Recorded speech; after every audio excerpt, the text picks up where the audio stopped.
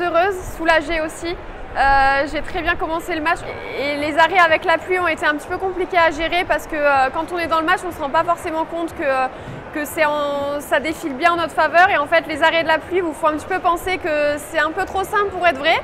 Et euh, j'ai eu un petit peu de mal à finir le premier set mais ça m'a beaucoup détendu et je suis très heureuse finalement d'avoir réussi jusqu'au bout à ne pas me mettre la pression.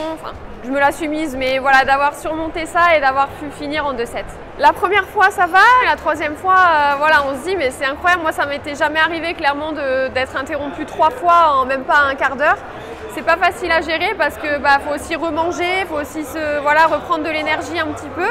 Et, euh, quand on mène aussi facilement, ça permet aussi à l'autre forcément d'aller avec ses coachs, d'avoir un petit reset. Donc je savais que c'était pas forcément en ma faveur, mais euh, finalement, bon, je m'en suis bien sortie, donc je l'ai plutôt bien géré. Ça donne la confiance, oui, parce que c'est des matchs en Grand Chelem avant où, euh, où j'arrivais pas forcément émotionnellement euh, à les terminer, je, me stressais beaucoup. Et, euh, là, voilà, depuis l'Australienne, j'arrive vraiment à, rester dans ma bulle. De, je stresse, mais j'arrive à le gérer. Donc voilà, je suis très fière de moi pour ça. Avant le tournoi, on s'est dit tiens, on peut se jouer peut-être au troisième tour. On l'a dit en rigolant et finalement ça arrive donc c'est cool, c'est génial. Après Clara, je ne l'ai jamais joué.